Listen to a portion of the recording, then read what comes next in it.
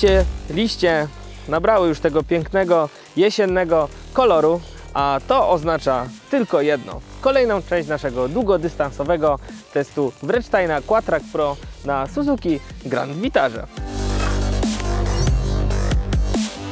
Oczywiście gorąco Was zachęcam do obejrzenia pierwszej części naszego długodystansowego testu, ale w tym odcinku będzie jednak sporo zmian w tym teście.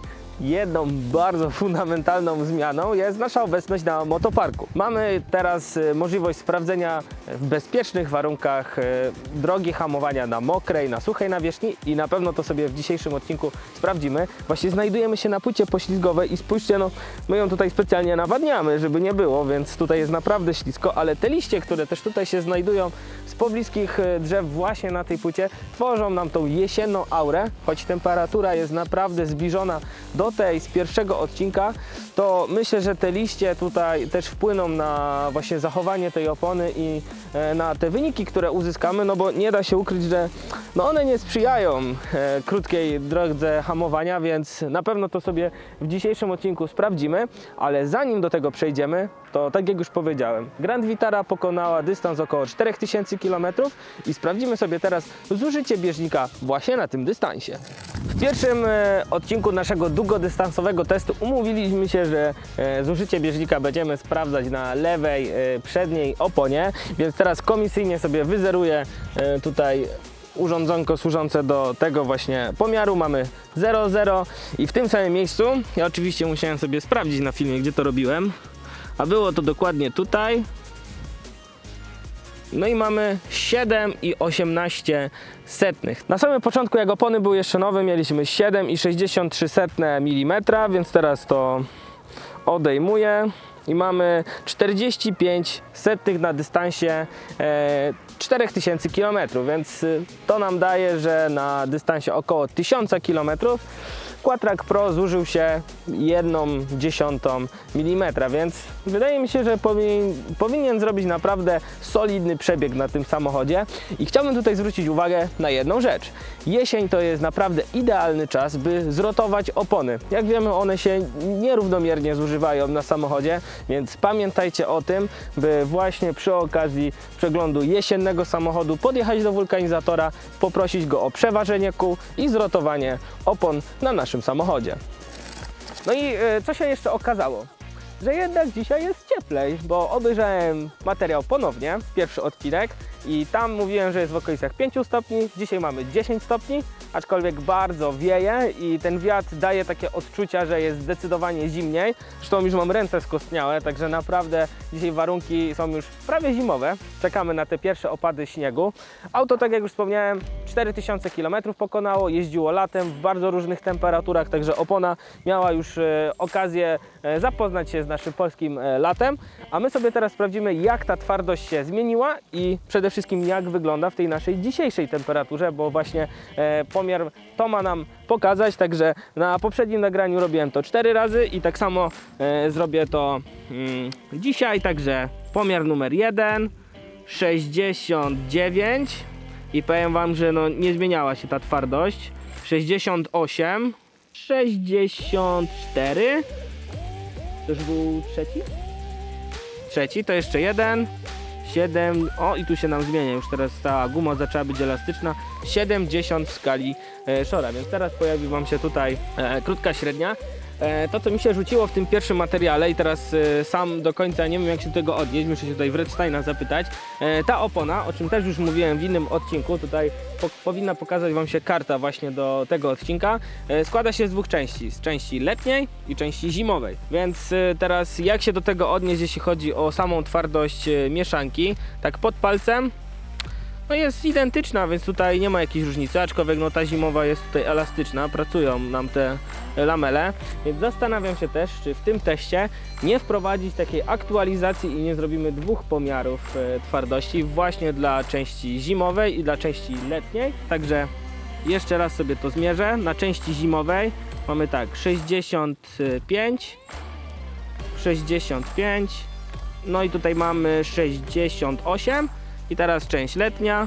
71, 70 nam się tutaj zatrzymało. 70. No i 69.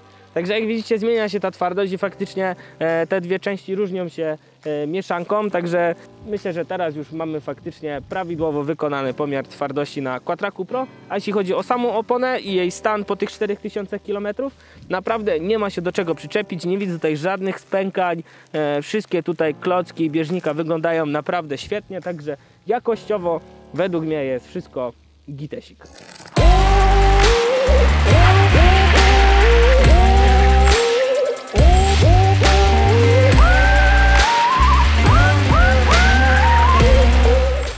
Przystępujemy do pierwszego pomiaru. Włączyłem już nagrywanie ekranu, także rozpędzam samochód. 58.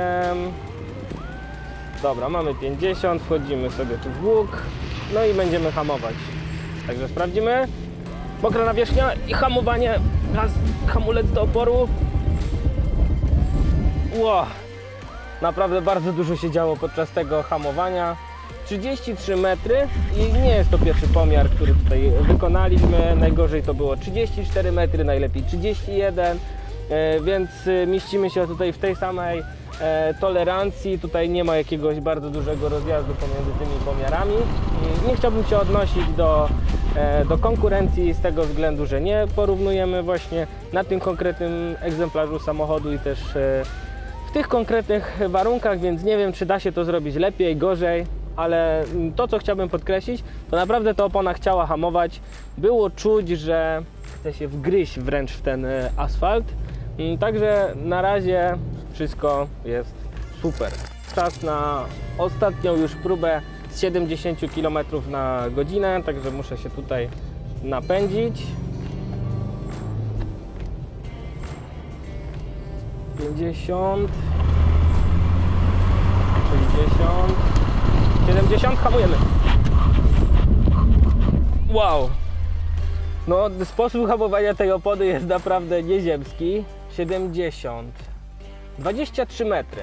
Czyli tak na mokrej, na mokrej nawierzchni z 50 mieliśmy okolice tych 32 metrów. Tu mamy 20 e, 3,5, a z 50 mieliśmy 12 e, metrów.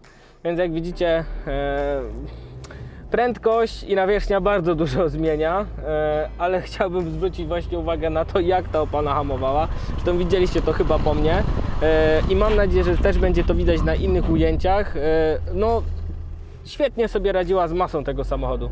Naprawdę nie było tutaj najmniejszego problemu. Ona chciała hamować. Nie czułem też, że auto i ta opona tak przekręca się do przodu, że ona brakuje jej tej trakcji podczas hamowania. Także naprawdę super. Czuć, że jest to naprawdę bardzo dobra opona całoroczna. E, I mam nadzieję, że nie zmienię o niej zdania podczas e, naszych e, nagrań zimowych i równie będę mógł ją chwalić tak jak teraz podczas tych prób hamowania, które przeprowadzamy na motoparku.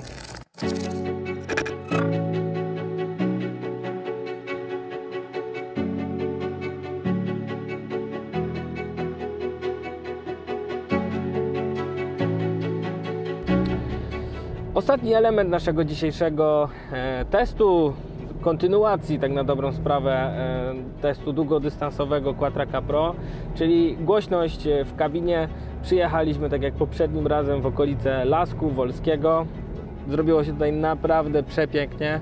Mamy polską złotą jesień i cieszy mnie, że w Krakowie są właśnie takie miejsca jak to.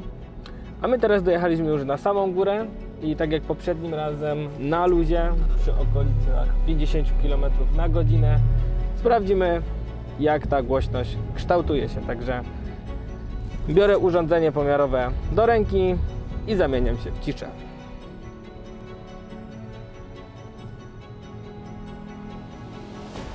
No powiedziałbym, że e, te wartości kręciły się tak w granicach 54-55 decybeli. E, Jak tylko nie było jakichś e, zewnętrznych czynników, które wpływały na głośność w samochodzie, to zbliżało się to do 54 decybeli. Także względem naszej pierwszej próby jest ciutkę ciszej. Tu jestem trochę zaskoczony. E, Wrażenia z samej jazdy, jeśli chodzi o głośność, w ogóle nie szumią te opony. Przynajmniej podróżując tym samochodem, czyli tak w granicach tych 100-110, e, no to naprawdę jest totalna cisza, także tu naprawdę bardzo duży e, plus, jeśli chodzi o komfort e, podróżowania na Quattraku Pro. E, I mam nadzieję, że właśnie też zimą, e, kiedy ta mieszanka na pewno e, nam stwardnieje, to e, te wartości nie będą bardzo odbiegać od tych naszych dzisiejszych e, pomiarów. No i wydaje mi się, że no mamy komplet, jeśli chodzi o dzisiejszy odcinek. Pogoda jest naprawdę świetna, zaczynamy weekend, bo ten materiał kręcimy w piątek. Także e, jeśli macie jeszcze jakieś uwagi, jeśli chcielibyście, żebyśmy e, wzbogacili ten nasz test o jeszcze jakieś dodatkowe e, rzeczy, no to śmiało piszcie w komentarzach, bo tak jak zasugerowaliście Dragiego, który się pojawił w dzisiejszym odcinku, tak jeśli będą jakieś jeszcze inne ciekawe, fajne propozycje, to na pewno e, posłuchamy się Was, bo te materiały tworzymy głównie dla Was e, i chcemy, żeby były wartościowe, pomocne, e, więc za wszelkie uwagi e, dziękujemy. No i widzimy się w kolejnym teście Quattraka Pro. E, Myślę, że już będzie to edycja zimowa, także czekamy na pierwsze opady śniegu i pozostaje wyruszyć w góry, żeby sprawdzić, jak sobie ten Quattrak Pro właśnie w nim radzi. Także do zobaczenia. Widzimy się w kolejnej edycji testu długodystansowego. Cześć. Mamy piękną jesienną aurę, a to mo... O. To urwę. Wszystko gitesik.